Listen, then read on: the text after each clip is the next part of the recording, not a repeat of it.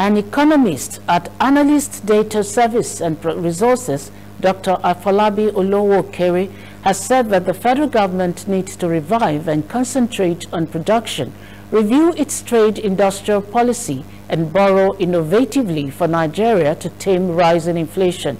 Olowookere stated this while speaking during a one-day forum organized by the Capital Market Correspondents Association of Nigeria in Lagos.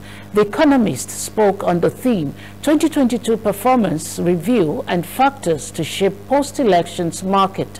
Olowookere, while reviewing economic activities in 2022, said that the Russia-Ukraine war, widening disparity in the foreign exchange market, coupled with unsustainable debts and financing led to the soaring inflation. Recall that the National Bureau of Statistics had reported that inflation had eased to 21.34% in December from an all-time high of 21.47% in November 2022. Olowookere believes that the federal government, especially the incoming administration, should seek ways to revive production the country's trade industrial policy and must borrow innovatively.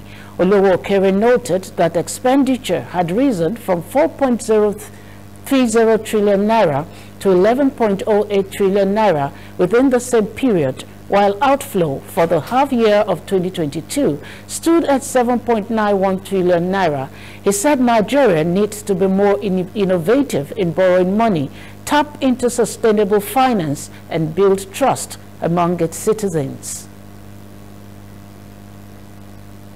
Gap was, and the gap is getting too much or very much, and we can't just continue like that. We never continue like that anyway.